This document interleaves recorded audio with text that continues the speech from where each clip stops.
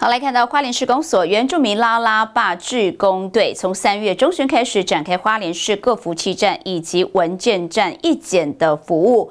十一号的上午是前往了国府里萨古尔部落文件站，而市长魏家燕也特别到场关切长者课程的同时，也感谢拉拉坝志工队部分族群提供一检的服务。职工们拿起剃刀为长者打理出清爽造型，这里可不是居家理发厅，而是部落文件站。花莲市公所原住民喇喇坝职工队从三月中旬开始，不分族群展开花莲市福气站及文件站义检服务。十一号上午是前往了国福里萨古尔部落。买啊，哪里不买？我包得最快。啊，有没有很谢谢拉拉爸来帮我们剪头发？会啊。他很早就跟我讲了，我就等待这一天。感谢施工所给我们这个机会，来为我们的补给站的或者是文件站的长者来这边预检。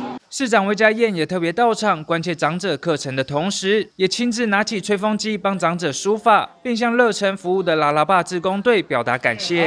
给市长谢谢。好，真的这次要非常感谢拉拉爸志工哈，常年哈都是在我们的市区的一些据点跟一些文件站哈，然后再帮我们一些弱势的一些家庭，然后来做我们的一些协助哈，然后当我们的志工。那在这个部分哈。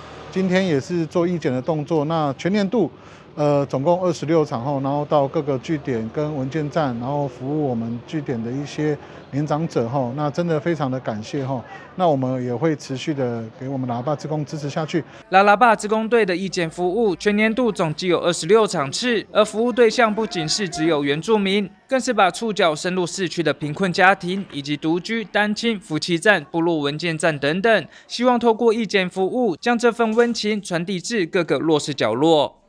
记者徐丽琴，华联时报道。